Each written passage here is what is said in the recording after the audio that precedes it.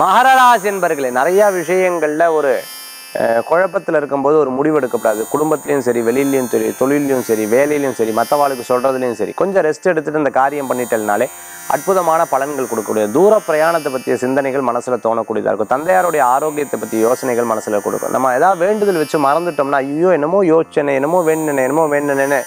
அப்பப்போ யோசிக்கக்கூடியதாக இருக்கும் சில நேரம் நம்மளுடைய ஜோதிடம் ஜாதகம் போன்ற விஷயங்களை பற்றி இன்றைக்கி சிந்திக்கக்கூடிய நாளாக இன்றைய தினம் உண்டு விடாத உழைப்பு வெற்றியை தரக்கூடியதாக இருக்கும் வீட்டினுடைய பெரியவங்களை பற்றி நிறைய பேசக்கூடிய வாய்ப்புகள் நீங்கள் படித்தது அதே மாதிரி படித்த இடங்களுக்கெல்லாம் போயிட்டு வரத்துக்கு உண்டான சூழ்நிலைகள் வரும் இன்றைய தினத்துக்கு உண்டான